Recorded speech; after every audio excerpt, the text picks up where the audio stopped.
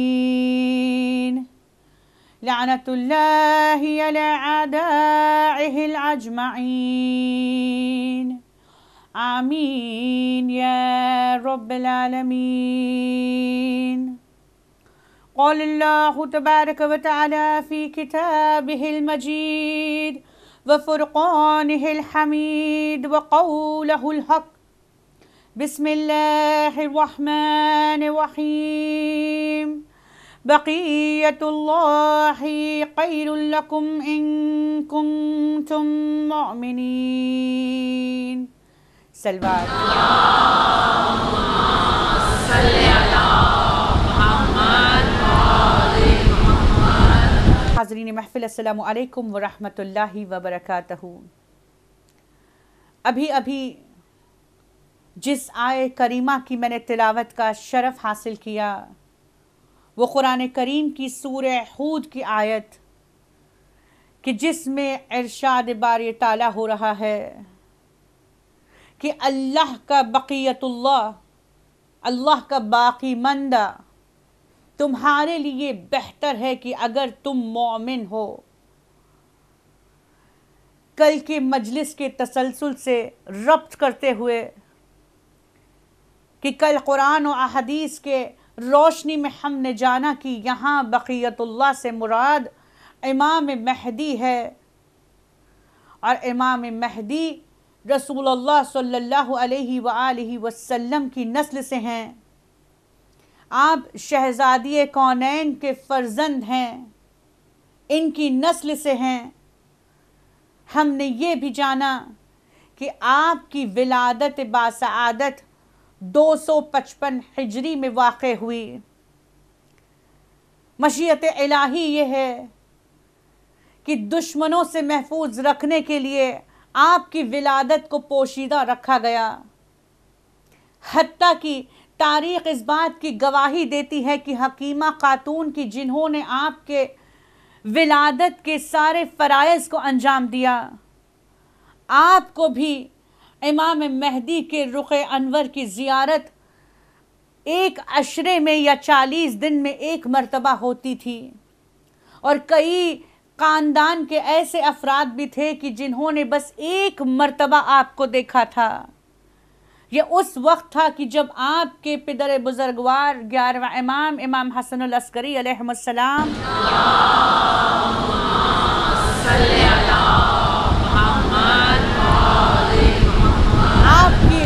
नमाज़ जनाजा पढ़ाने की बारी आई तो आपके चचा जाफ़र कज़ाब ने इमामत का दावा कर दिया और नमाज़ जनाजा के लिए खड़े हुए।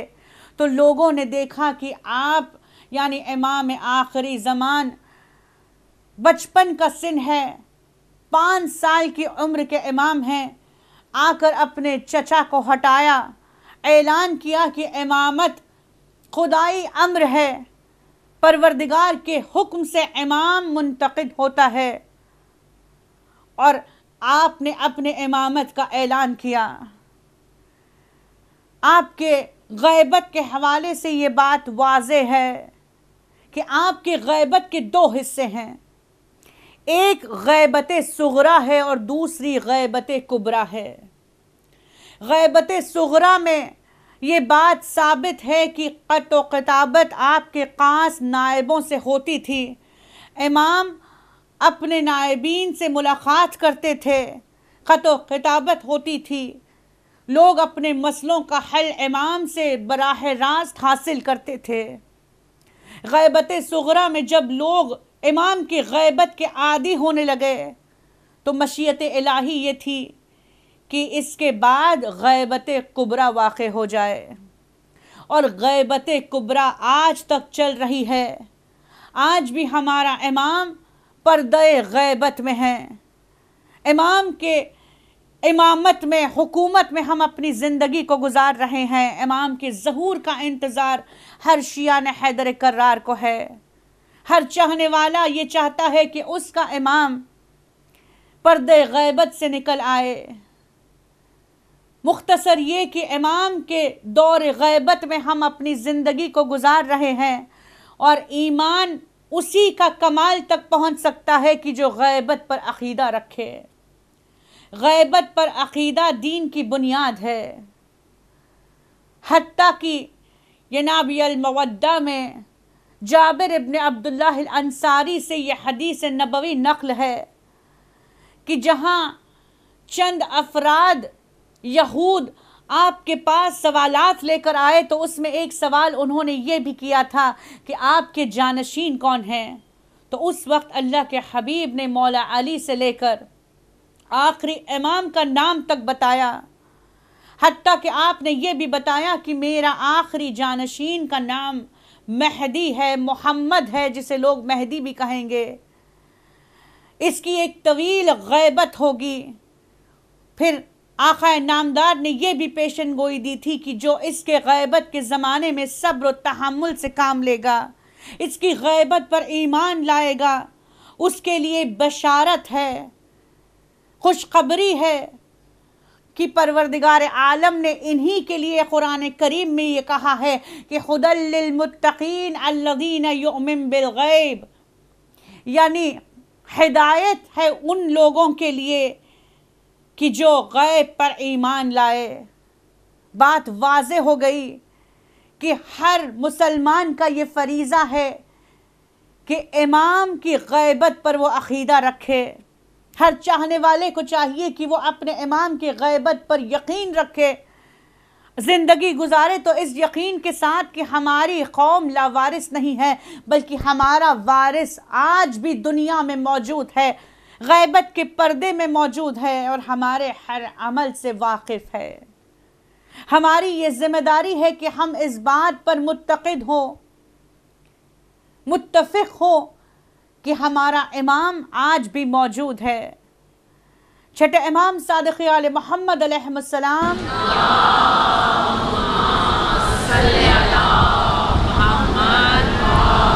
इमाम फरमाते कि हमारे आखिरी फर्जंद की गैबत तुलानी होगी। मशीयत इलाही यह है कि दुश्मनों से महफूज रखने के लिए हमारा आखिरी फर्जंद गैबत में चला जाएगा। दौर गैबत में आपकी विलादत पर सवाल उठेंगे।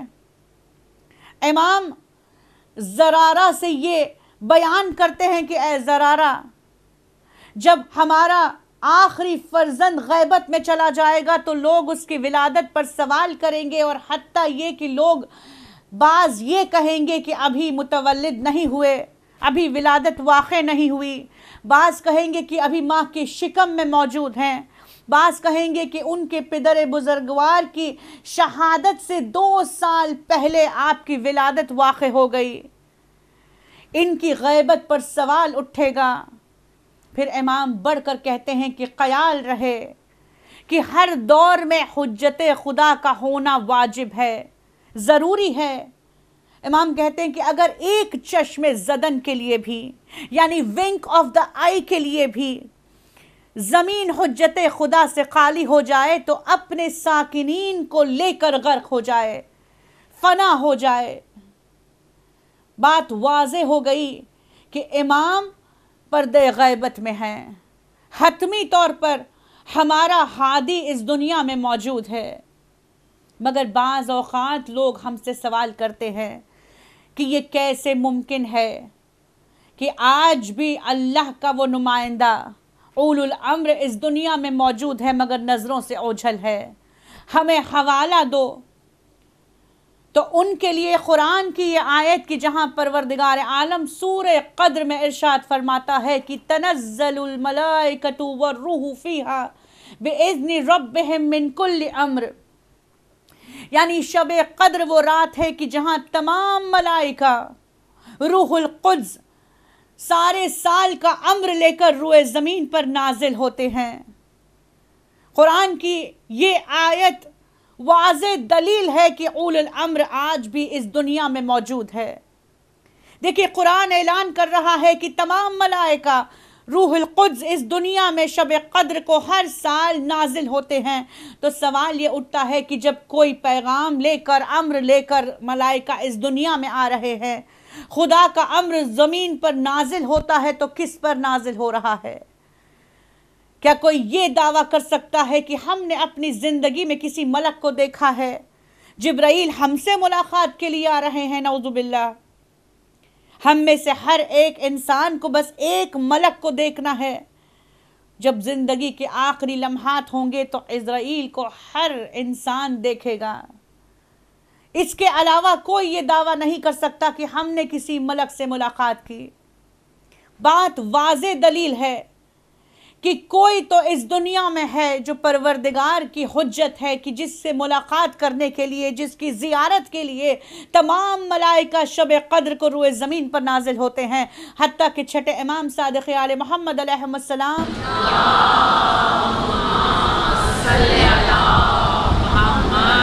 इमाम हैं कि शब कद्र को मलाइका हमारी ज़ियारत के लिए आते हैं। हती कि वो ऐसी रात होती है कि जब सारी ज़मीन मलाइका से भर जाती है। ज़मीन से आसमान तक मलाइका के कतार हमारी ज़ियारत के लिए उतरते हैं और सारे मलाइका हम पर सलाम भी करते हैं, हमारा तवाफ़ भी किया जाता है। सारे साल का अम्र लेकर मलाइका वक्त की हुज्जत के हाजिर में, हुजूर में हाज़िरी देते हैं। परवरदिगार के इज़्न से उनकी ज़ियारत करते हैं। कुरान की ये आयत वाज दलील है कि आज भी रोए ज़मीन पर परवरदगार का हुज्जत बाकी है। उल अम्र बाकी है कि जिसके पास सारा अम्र लेकर फरिश्ते नाजिल होते हैं। बाज अब सवाल करते हैं कि ठीक है, मान लिया जाए कि उल अम्र परवरदिगार की हुज्जत रुए ज़मीन पर मौजूद है तो हमारी निगाहों से ओझल क्यों है? हमें फ़लसफ़े गैबत समझ नहीं आता। अरे गैर तो गैर अपने ये सवाल कर रहे हैं कि बताओ गैबत का फ़लसफ़ा क्या है? तो उनके लिए बताती हुई चलूँ कि गैबत का फ़लसफ़ा इंसान के लिए कोई नई शय नहीं है। तारीख़ इंसानियत में अगर तारीख़ के औराख को पलटा जाए तो कई अम्बिया का ज़िक्र है कि जो अपने उम्मत से गायब हो गए थे एक अरसे के लिए। मशीयत इलाही ये थी कि उन्हें गैबत में जाना पड़ा था। तारीख शाहिद है कि जनाब मूसा का ज़माना वो है कि जहाँ कौम से आपको अलाहिदा रखने का परवरदिगार की मशीयत थी। जनाब यूसुफ का दौर ख़त्म हो रहा है, आखिरी ज़िंदगी के लम्हात हैं तो जनाब यूसुफ ने कौम को एक चीज़ से आगाह किया था पेशन गोई की थी। कहा था कि अन करीब तुम पर बड़ी मुसीबत आने वाली है। तुम्हारे आमाल की वजह से परवरदिगार आलम तुम पर मुसीबतों को नाजिल करेगा और तुम्हें नजात देने वाला, तुम्हारे नजात का दहिंदा तुम्हारा मुंजी जनाब याकूब की आल से होगा कि जो तुम्हारी मुसीबतों से तुम्हें नजात दिलाएगा। जनाब यूसुफ ने सारे पेशन गोई में अलामत जहूर को वाज कर दिया था। जनाब मूसा के सारे अलामत को बयान कर दिया था कि तुम्हारा जो नजात का दहिंदा होगा, तुम्हारा जो मुंजी होगा, इसकी ये अलामतें हैं। और तारीख लिखती है कि जैसे जनाब यूसुफ ने कहा था, उसी तरह कौम यूसुफ बहुत बड़ी मुसीबतों में मुब्तला हुई। जालिम हुक्मरानों ने उन पर जुल्म करना शुरू कर दिया। हती कि वो वक्त भी आया कि जहाँ फिर ऑन मलून को जनाब मूसा की पेशन गोई का इल्म हुआ, उसे ये बात पता चली कि मूसा उसी के मुल्क में पैदा होने वाले हैं तो उसने ऐलान कर दिया कि हर माँ के बच्चे को ज़िबा कर दिया जाए। हती कि औरतों के शिकम में बच्चों को चीर दिया जाता था। मगर मशीयत इलाही ये थी कि उसी फिर के दरबार में जनाब मूसा को परवान चढ़ाया गया। तारीख इस बात की शहादत देती है कि परवरदिगार आलम ने जनाब मूसा की विलादत के बाद आपकी माँ को इल्हाम किया था कि मूसा को दरियाए नील के सिपर्द कर दिया जाए। जनाब मूसा की माँ ने इल्हाम पर अकीदा रखते हुए, यकीन रखते हुए अपने नौमौलूद बच्चे को दरियाए नील में बहा दिया था। और उसी दरियाए नील के किनारे इसी फिर की जोजा कैमजन थी कि जिनकी औलाद नहीं थी। जैसे ही बच्चे को लहरों में आते हुए देखा तो दिल में ममता जाग उठी, तारीख लिखती है, मुझे तफसील में नहीं जाना, साहिब इल्म का मजमा है। तारीख लिखती है कि अब जनाब मूसा को फिर ओन की जोजा ने अपने ही कसरे में परवान चढ़ाया है। वो वक्त भी आया कि जब जनाब मूसा जवान हुए हैं कौम पर जुल्म बढ़ता चला जा रहा है। और उस ज़माने में एक बहुत बड़ा फ़कीर और आलिम था कि जो लोगों को तसलिया दिया करता था तलकीन दिया करता था कि तुम्हें घबराना नहीं है। एक दिन आएगा कि जहाँ परवरदिगार की हजत को आना है और तुम्हारे सारे मजालिम का खात्मा करेगा। लोगों को फिर ऑन के जुल्म से बचाने वाला आएगा और परवरदिगार आलम अपने वादे को पूरा करेगा। ये फ़की लोगों को तसलियाँ दिया करता था और तारीख़ लिखती है कि एक दिन जब जंगल में ये फ़की लोगों को तसलियाँ देते हुए जनाब मूसा के अलामत को बयान कर रहा है तो उन्होंने देखा कि एक खच्चर पर एक नौजवान उसी जंगल से गुज़र रहा है कि जिनके पास सारी अलामतें मौजूद हैं उनके मुंजी की। मशीयत इलाही ये थी कि जनाब मूसा सैर के लिए कसरे से बाहर निकले हैं खच्चर के ऊपर सवार हैं, रास्ता भटकते हुए इसी जंगल में चले आए हैं कि जहाँ फ़की अलामत मूसा को बयान कर रहा है। मगर मशीयत इलाही यह है कि अभी मूसा ने अपने आप को पहचानवाया नहीं है। जब लोगों ने मूसा की जानब देखा तो वो सारी अलामतें मूसा में पाई कि जिनके बारे में उन्होंने सुना था, जिनका इंतज़ार वो कर रहे थे। परवरदिगार का हुक्म था कि मूसा अपने आप को न पहचानवाए। और तारीख लिखती है कि मूसा वहाँ से चले गए। एक मुद्दत गुजरी कौम दुआ करती चली गई। चालीस से पचास साल गुजर गए कौम दुआ कर रही है, मजालिम से पना मांग रही है। हती कि वो वक्त भी आया कि जब जनाब मूसा मिस्र को छोड़कर जनाब शुएब की जानब जा रहे हैं। रास्ते में फिर इसी फ़की से मुलाकात हुई है। अब यहाँ मशीत इलाही ये है कि मूसा ने अपने आप की पहचान उस फ़की से करवाई और कहा कि मैं हांद का बेटा हूँ। हांद लावी का बेटा है और लावी याकूब का बेटा है। जब जनाब मूसा ने अपने आप को पहचानवाया तो उस वक्त फ़की ने परवरदिगार का शुक्र अदा किया और उन्हें ये बात पता चल गई कि परवरदिगार की हजत अन करीब ज़हूर करने वाली है। मगर अभी परवरदिगार का हुक्म ये नहीं है कि मूसा अपने नबूत का ऐलान बज़ाहिर लोगों के सामने करे। जनाब मूसा शुएब की दख्तर से अख्त करते हैं। दस साल उन्हीं के बाग में काश्तकारी करते हैं। एक वो वक्त भी आता है कि जब अपनी जोजा को लिए हुए मिस्र की जानब जा रहे हैं। रात की तारीकी है। जोजा ने आग तलब की है। जनाब मूसा गए हैं आग की तलाश में। जब गए थे आग की तलाश में तो वापस लौटे हैं तो वही है इलाही के साथ परवरदिगार का कलीम बनकर लौटे हैं। परवरदिगार ने हुक्म दिया है कि अय कलीम, कल सुबह दरबार फ़िरौन में जाकर अपनी नबूवत का तुम्हें ऐलान करना है। बात वाज हो गई कि गैबत का फ़लसफ़ा कई अम्बियाओं के ज़माने से चला आ रहा है। एक और गैबत का ज़िक्र करती हुई चलूँ। गैबत यह है कि अल्लाह की हजत ज़मीन पर होते हुए भी अपने आप को पहचानवाए नहीं। तारीख लिखती है कि जालूत और तालूत का ज़माना है। जनाब दाऊद का ज़माना है कि जहाँ दो हुक्मरान रहते हैं। एक तालूत है और एक जालूत है।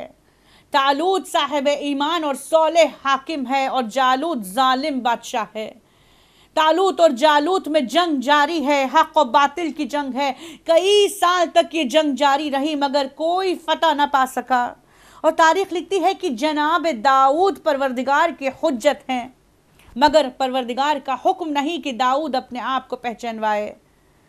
लोग इंतज़ार कर रहे हैं कि वो कौन परवरदिगार का मददगार जो इस दुनिया में आएगा, परवरदिगार की हुज्जत जो मददगार बनकर दुनिया में आए और उन्हें नजात दे। लोग दुआ पर दुआ करते चले जा रहे हैं। सालों साल जंग जारी है। जनाब दाऊद उन्हीं में मौजूद हैं। हत्ता की तारीख लिखती है कि तालूद के खुद अफसरों में, सिपाहियों में जनाब दाऊद के भाई मौजूद हैं।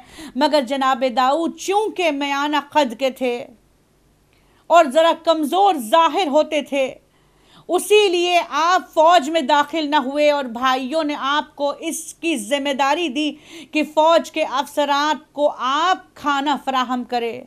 बकरियों को चराने की ज़िम्मेदारी जनाब दाऊद की थी।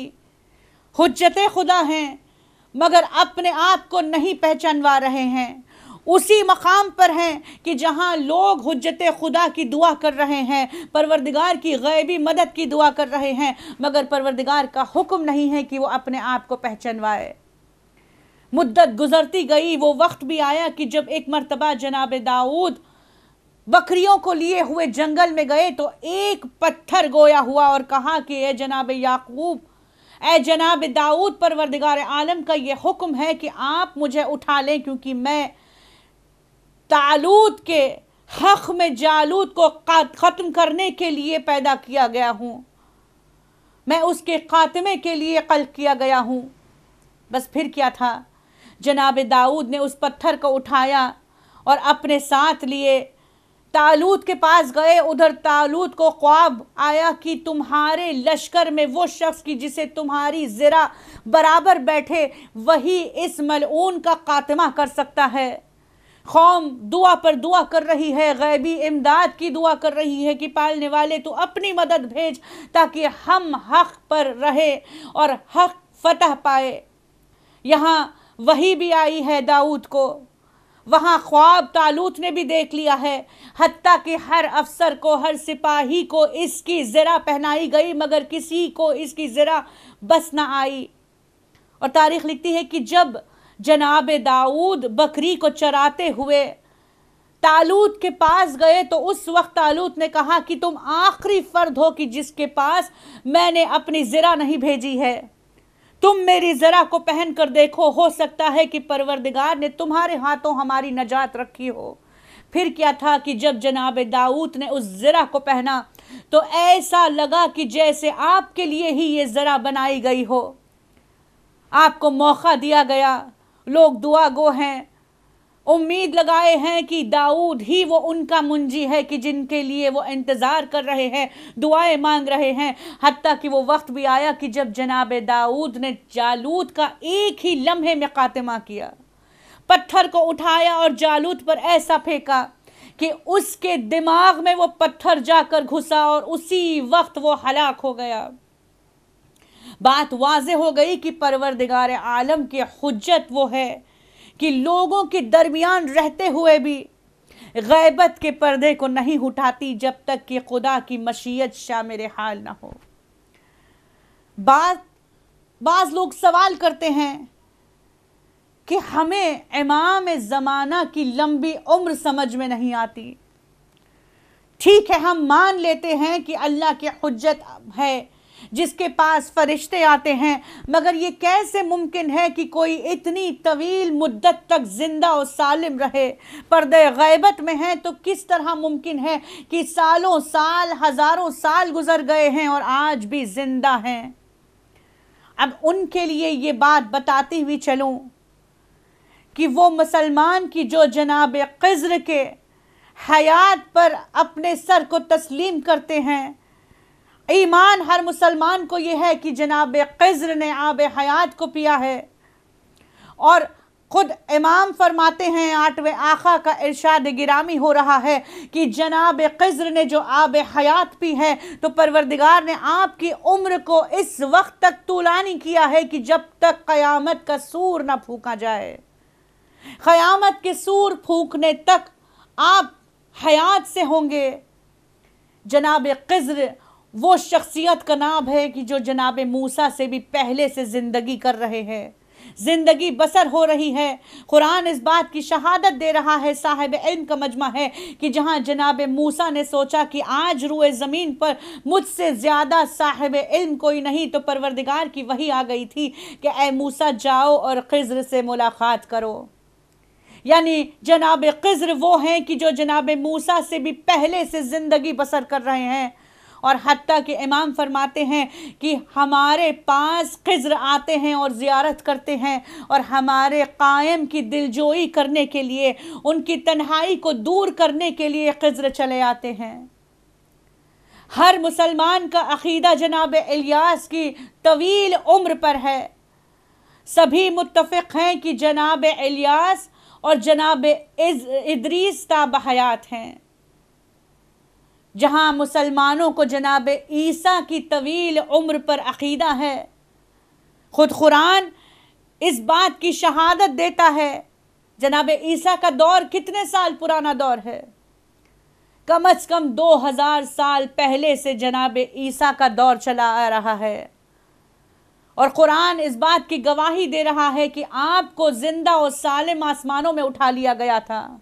हर मुसलमान इंतज़ार कर रहा है तो जनाब ईसा का भी इंतज़ार कर रहा है। हती कि मासूमीन अलैहिस्सलाम फरमाते हैं कि जब जनाब ईसा इस दुनिया में आएँगे तो कायम का ज़माना होगा, जहाँ हमारी आखिरी बेटा परवरदिगार की आखिरी हुज्जत ज़हूर करेगी तो परवरदिगार जनाब ईसा को रुए ज़मीन पर भेजेगा। और वो वक्त भी आएगा कि जब नमाज़ पढ़ी जाएगी तो यूसुफ जहरा, फ़र्जंद जहरा के पीछे फ़र्जंद मरियम नमाज़ को अदा करेंगे। हती कि जब इमाम कहेंगे कि, ए ईसा रूह अल्लाह आप नमाज़ पढ़ाइए तो कहेंगे, जनाब ईसा अजब नहीं बढ़कर कहे कि मेरी माँ मरियम है, आपकी माँ फ़ख्र मरियम है। आप पेश इमामी कीजिए, हम आपके पीछे नमाज़ पढ़ेंगे। बात वाज हो गई कि जब मुसलमानों को जनाब ईसा की ज़िंदगी पर यकीन है, उनकी तवील उम्र पर यकीन है तो फिर आखिरी ज़माने के इमाम इमाम महदी की जिसके सब मुंतज़र हैं, उनकी तवील उम्र पर क्यों कायल नहीं होते? अब सवाल ये उठता है, बाज़ लोग इस पर भी मुतफ़ हैं। बल्कि यूँ कहूँ कि शैतान मलऊन की हयात पर हर मुसलमान को ईमान है। हर मुसलमान इस बात पर मुत्तफिक है कि ये वो मलऊन है जो जिन था। आदम की खिलकत से पहले इसकी खिलकत हुई थी। कई हज़ार सौ साल, बल्कि एक रिवायत में छः हज़ार सौ साल इस दुनिया के नहीं, बल्कि आसमानों के छः हज़ार सौ साल। वो परवरदिगार की इबादत कर रहा है। कसरत इबादत की वजह से उसका आना जाना फर्श पर, फर्श से अर्श पर हो गया। हती कि परवरदिगार के जवार में उसे बुलाया गया और फरिश्तों के दरमियान वो इबादत करने लगा। बात वाज हो गई कि जनाब आदम की खिलकत से छः हज़ार साल पहले इस मलून को कल किया था। मुझे तफसील में नहीं जाना। जब इसे जलालत का तोख पहनाकर बज़ में इलाही से निकाला गया था तो मलून ने एक वादा परवरदिगार से लिया था। उसने कहा था कि, परवरदिगार, मुझे ताक़यामत तक बाकी रख और मुझे ये क़ुवत दे कि मैं तेरे बंदों को वरगला सकूँ। हर मुसलमान इस बात से मुत्तफ़ है कि ये मलून ताक़यामत तक लोगों को बहकाएगा, वरगलाएगा। परवरदिगार ने उसे इख्तियार दिया है कि वो लोगों के दिलों में वसवसों को पैदा करेगा। जब मुसलमान एक मलऊन के ज़िंदगी के तवील होने पर अकीदा रख सकते हैं मंबे शर पर तवील हयात पर उन्हें अकीदा है कि ये मंबे शर को परवरदिगार ने तवील हयात दी है तो फिर परवरदिगार की हुज्जत की तवील उम्र पर उन्हें क्या एतराज़ हमें चाहिए कि हम इमाम महदी के, इमाम ज़माना की गैबत पर अकीदा रखें, क्योंकि ये ईमान की तकमील की बुनियाद है। अब सवाल उठता है, दिल में हमारे सवाल उठता है, या यूँ कहूँ कि कई बच्चों के दिल में भी ये सवाल उठता है कि अगर मान भी लिया जाए कि इमाम हैं। इमाम अगर मौजूद हैं तो हमें दिखाई क्यों नहीं देते? हमारी नज़रों से ओझल क्यों हैं?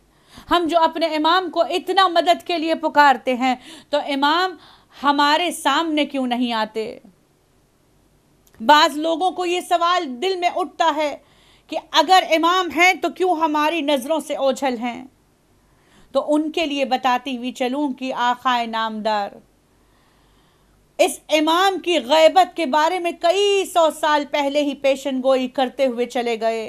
हती कि मासूमिन अलैहिस्सलाम ने आपके शख्सियत को कई पैगंबरों से मुशाबहत दी है और सैदुलशहदा वो इमाम की जिसकी मजलिसें हम बर्पा करते हैं, वो इमाम फरमाते हैं कि हमारी आखिरी हुज्जत हमारा आखिरी इमाम, हमारा आखिरी फर्जंद, जो परवरदिगार की हुज्जत बनकर रुए ज़मीन पर गैबत में ज़िंदगी को गुजारेगा, उसकी मुशाबहत जनाब यूसुफ से है। कि जहाँ जनाब यूसुफ को उनके भाइयों ने कुएँ में डाल दिया था, परवरदिगार ने उन्हें महफूज रखने के लिए अपने भाइयों से अलाहदा कर दिया। मुझे तफसील में नहीं जाना, साहिब इल्म का मजमा है कि जहाँ काफिला जा रहा था, कुएँ से यूसुफ को निकाला गया। मिस्र को यूसुफ, मिस्र में पहुँचे हैं। सारे मामलात होते गए। हती कि वो वक्त भी आया कि जब आप मिस्र के हुक्मरान भी बने। ये सारा वाक़ बीस साल पर मुश्तमिल है। यानी जनाब यूसुफ का, जनाब याकूत से अलग होना और मिस्र में हाकिम बनने का सारा वक्फ़ा जो है, वो बीस साल पर मुश्तमिल है। और मेरे इमाम फरमाते हैं कि हमारे कायम की मुशाबहत इसी यूसुफ से है कि जहाँ जनाब यूसुफ के भाइयों ने उन्हें देखा है, उनसे मुलाकात की है, जहाँ हाकिम बनकर जनाब यूसुफ बैठे हैं और ये तजारत के कस से भाई उनके सामने आते हैं। हाथों को जोड़कर दस्त बस्ता होते हैं, एहतरामन सलाम भी करते हैं, आपसे बात भी करते हैं, मगर अपने भाई को पहचान न सके। कई मरतबा जनाब यूसुफ से मुलाकात भी की है, मगर अपने सगे भाई को पहचान न सके, क्योंकि मशीयत इलाही ये है कि ना यूसुफ अपनी पहचान करवाएँ, ना इनके दिलों में परवरदिगार ने यह हिदायत दी है कि वो अपने भाई को पहचान सकें।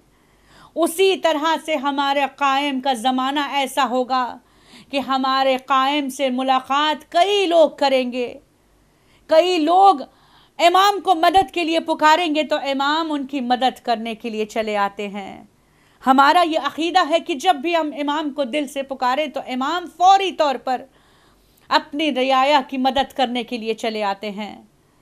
मगर फिर इमाम आखा फरमाते हैं आखा हुसैन फरमाते हैं कि हमारे कायम की मुशाबहत जनाब यूसुफ से है कि तुम अगर कायम को देखो भी तो उन्हें पहचान न पाओगे। और फिर इमाम फरमाते हैं कि जब हमारा कायम जहूर करेगा तो हर कोई कह उठेगा कि इन्होंने मेरी फला वक्त पर मदद की थी, इन्होंने मेरी दस्तगीरी उस वक्त की थी। बात वाज हो गई कि हो सकता है कि हमने जब भी मदद को पुकारा हो हमारा इमाम, हमारे नज़रों के सामने आया हो, हमारी इमदाद की हो, मगर हमारी गुनाहगार आँखों ने हमारे इमाम को न पहचाना हो। अजादार ने सैदुलशहदा जनाब यूसुफ बस नौ दिन के फासले पर अपने बाप से जुदा हैं, अलाहिदा हैं। मशीयत इलाही ये है कि याकूब रोते रोते अपने आँखों की बीनाई खो गए हैं। खो बैठे हैं अपने आँखों की बीनाई, मगर अपने बच्चे से मुलाकात न कर पाए। परवरदिगार ने इनकी गैबत को तूलानी कर दी है। बीस साल की तवील मुद्दत है याकूब अपने बेटे के। जुदाई में आँसू बहा रहे हैं, कहते परवरदिगार मेरे यूसुफ को मुझसे मिला दे। मगर परवरदिगार ने इनकी दुआ को मशीयत के तहत कबूलियत का दर्जा ना दिया। बीस साल लगे नौ दिन का फासला तय करने के लिए, यानी फ़िलिस्तीन से मिस्र पहुँचने के लिए जनाब यूसुफ को, जनाब याकूब से मुलाकात के लिए नौ दिन का फासला पार करने के लिए बीस साल का अरसा लग गया।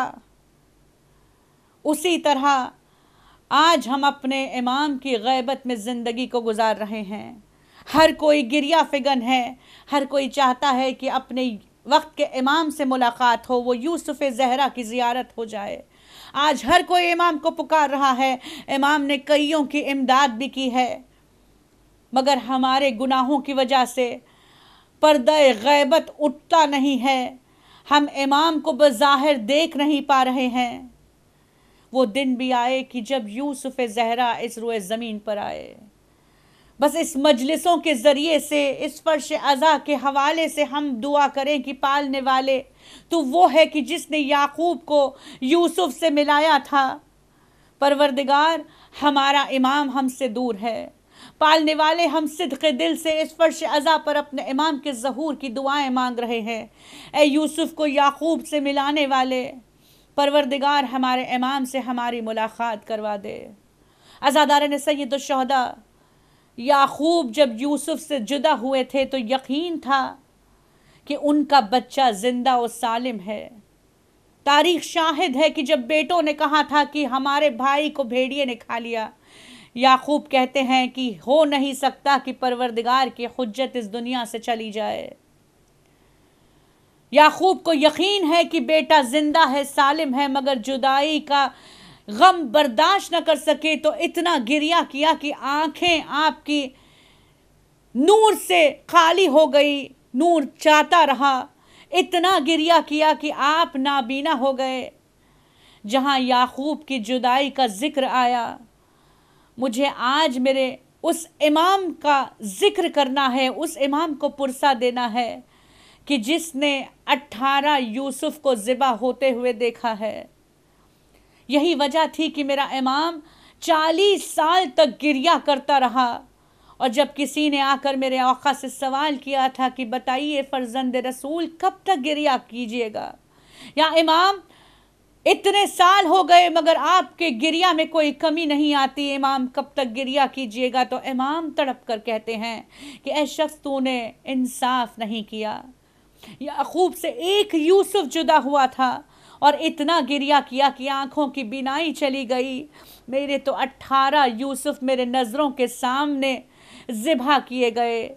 अजादार ने सैदुलशहदा आज दूसरी मुहर्रम है। करबला का ये काफ़िला, आका हुसैन का ये छोटा सा कारवान करबला में वारद हुआ है। और हाल ये है कि मेरा इमाम मेरे चौथे आखा पर बुखार की शिद्दत तारी है। करबला की ज़मीन पर काफिला वारद हुआ है। मेरा चौथा इमाम मशीयत इलाही के तहत बीमार हो गए। अजादार ने सैदुलशहदा कोई मेरे साबिर इमाम सज्जाद से पूछे कि रोज़े आशूरा असर के हंगाम में अपने बाबा का सरनों के नैज़ा पर देखना क्या होता है? हजादारों कोई मेरे मजलूम इमाम के दिल से पूछे कि शाम गरीबा जब मल, उन्होंने ऐलान किया था कि अपने अपने वारिसों की लाशों को ले जाया जाए और सारे वारिस आए और अपने अपने अज़ीज़ व खारिब की लाशों को उठा ले गए। सिर्फ़ एक मेरे मौला हुसैन का लाशा इक्का वो तनहा पड़ा है और हुसैन का वारिस बीमार करबला हसरत भरी निगाह डाल रहा है। मेरे मौला की नज़रों के सामने बाबा का लाशा पामाल हुआ। मैंने बहुत आसानी से कह दिया कि शाम गरीब आखा हुसैन का लाशा पामाल हुआ। आज़ादारो तारीख लिखती है कि मेरे पाँचवें आखा के पास एक शख्स आकर सवाल करता है, सैयद मौला बताइए, ख़त लगा के एक किलोमीटर के दायरे में सारी खाक खा के शफा कैसी है? तो उस वक्त मेरा पांचवा आखा तड़प कर कहता है कि जब मेरे जद के लाशे को पामाल किया गया, मेरे जद के लाशे के टुकड़े घोड़ों के सुमों से उलझे। जहाँ तक घोड़े दौड़े, वो सारी खा खा के शफा बनी। अजादारों मेरा मौला, इमाम, बीमार करबला, ये मंजर देख रहा है और सब्र के जौहर दिखा रहा है। तारीख कायनात में मेरे मौला हुसैन की एक हसरत थी कि जो दो मुहर्रम को मेरे मौला ने जिसका इजहार किया था, दो मुहर्रम को वारिद करबला हुए थे इमाम तो उस वक्त बनी असद के लोगों को जमा किया था। मैदान करबला में ज़मीन को ख़रीदा था और उनसे एक अहद लिया था कि, ए बनी असद के लोगों, तुम ये वादा करो कि अगर मुझे यहाँ कत्ल कर दिया जाए तो तुम मेरे लाशे को दफन करोगे। लोगों ने वादा दिया। फिर इमाम ने औरतों को बुलाया। शहजादी को रखते हुए, शहजादी के सामने औरतों ने अहद लिया कि इमाम, अगर हमारे मर्द गाफिल भी हो जाए तो हम उन्हें ये हिदायत देंगे कि आपका लाशा दफ्न करें। अजादारों मेरे मौला को इससे भी सुकून न हासिल हुआ। मौला ने बनी असद के बच्चों को दो मुहर्रम को बुलाया और कहा कि ए बच्चों, अगर तुम्हारे वालदेन मुझे दफन करने से गाफिल हो जाए तो तुम एक एहसान हुसैन पर कर देना कि जब तुम्हारे खेलने का वक्त आए तो मेरे लाशे के करीब आ जाना। तुम्हारा खेल भी हो जाए। थोड़ी सी मिट्टी अपने हाथों से उठाना और मेरे लाशे पर डाल देना। आजादा ने सैयद शहदा दिल खोल कर रोइए और मेरे मौला हुसैन को उनकी मजलूमी का पुरसा दीजिए। रबना तकबल में इन्नका अंतस समीउल अलीम।